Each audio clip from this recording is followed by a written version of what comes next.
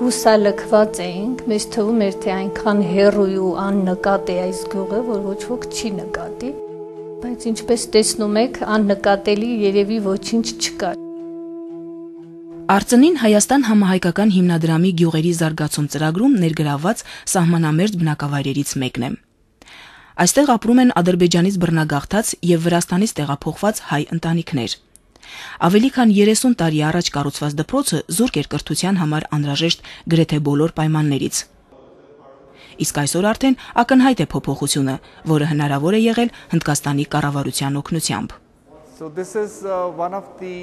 Սա մեր փոքր ներդրումներից մեկն է, որ կատարել ենք գյուղական շրջաններում դպրոցի զարգացման համար,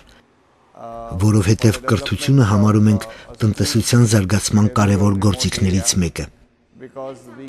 Տպավորված ենք Հայաստանում գրագիտության բարձր մակարդակով եւ կարծում ենք, որ այս փոքրիկ ներդրումը կատարելով հուսալի գործընկերոջ տպավորություն կթողնենք։ Թեև դեսպան պարոն Աչալ Կումար Մալհոտրան առաջին անգամ էր լինում Արցնիում եւ ծանոթ չէր դպրոցի նախկին վիճակին, բայց կատարված աշխատանքն առանց համեմատության էլ գոհացրեց նրան։ Սա իմ առաջին այցն է եւ չեմ կարող ներկա վիճակը համեմատել եղածի հետ։ Տպավորություն ունեմ, որ դպրոցը լավ տեսքի է գալիս։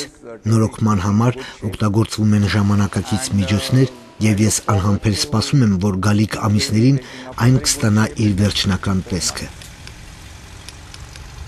Դպրոցի սովետական տարիներին կառուցված շենքը, բացի հնությունից եւ անմխիթար վիճակից, ուներ նաեւ կառուցվածքային բազմաթիվ թերություններ, որոնք հաջողվեց վերացնել հիմնադրամի մասնագետների, նախագծողների եւ շինարարների համագործակցության շնորհիվ։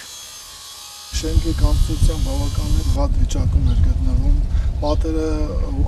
ամբողջովին շարավացները շատ վատ էին ուրեմն պատի սալերը տեղադրված էր շատ անորակ, թեկությունները բավականին շատ էր, երկար ժամանակ պահանջվեց, որպեսզի ճիշտ լուծումներ գտնենք աշխատանքները իրականացնելու։ Հայաստանում Հնդկաստանի արտակարգ եւ լիազոր դեսպան պարոն Աչալ Կումար Մալհոտրան տպավորված էր ոչ միայն շինարարության որակից, այլև Հայաստան համահայկական հիմնադրամի հետ համագործակցությունից։ Մտածում էինք, որ Հայաստան հիմնադրամը հուսալի գործընկեր կլինի։